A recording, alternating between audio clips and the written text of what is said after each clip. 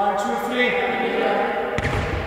Sí, sí, partido que sabemos que clasificatoriamente pues sería muy importante para nosotros ganarlo, ¿no? Pero bueno, también lo que dices tú, ¿no? Sabemos que ganar fuera de casa siempre es complicado, por lo tanto, bueno, creo que debemos estar muy alerta, debemos estar con la máxima ilusión y la máxima intensidad para intentar sacar este partido adelante, sabiendo que, bueno, que lo que dices tú, ¿no? Que ganar en Euroliga fuera de casa es complicado y, bueno, y Gior, que evidentemente pues eh, no está exento de talento también en, en sus filas. Sí, bueno, los viajes de Euroliga son siempre complicados, ya lo sabemos es verdad que hoy además ha tocado madrugón, entonces ahora mismo pues evidentemente pues hay cansancio, pero bueno, es verdad que, que tenemos toda una noche todavía por delante para recuperar, más el día de mañana antes del partido, o sea que bueno, esperemos estar bien, pero bueno, eh, es uno de los condicionantes que sabemos que siempre eh, ayuda ¿no? a que ganar fuera de casa en Euroliga, en Euroliga sea tan difícil.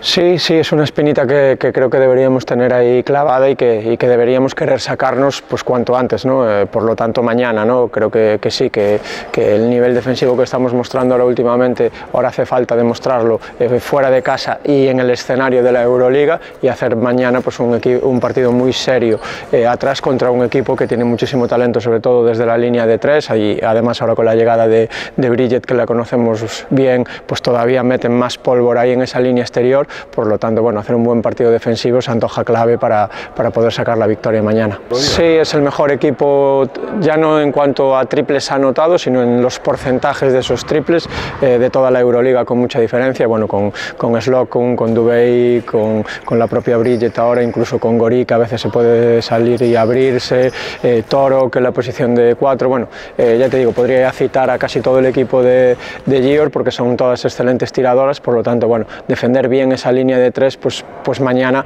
va a ser importante para nosotros, pero sin descuidar pues también que son jugadoras buenas en el uno contra uno, por lo tanto ya te digo, hacer un partido defensivamente correcto, hacer bien nuestros básicos, controlar el rebote, eh, estar bien en la defensa del uno contra uno, ser solidarias en las ayudas, bueno, un poco todo esto que venimos hablando estas últimas semanas, pues antoja clave ¿no? pues para poder ganar mañana aquí. Sí, es un equipo, ya te digo, es de los equipos más anotadores de toda la Euroliga, también es verdad que es de los equipos que peor defienden, ¿no? Entonces, bueno, eh, eh, eh, se antoja clave ese equilibrio, ¿no? Que nosotros seamos capaces de defender bien porque en ataque seguramente las vamos a poder penalizar en, en diversas situaciones, ¿no? Y, y, evidentemente, pues sí, ¿no? Lo que dices tú, no entrar en esa anarquía que ellas tienen de tirar muchos triples, de un juego acelerado, de jugar a muchas posesiones, de un poco esa locura de partido en la que ellas siempre sacan mucha ventaja con tiros abiertos, especialmente desde la línea de tres.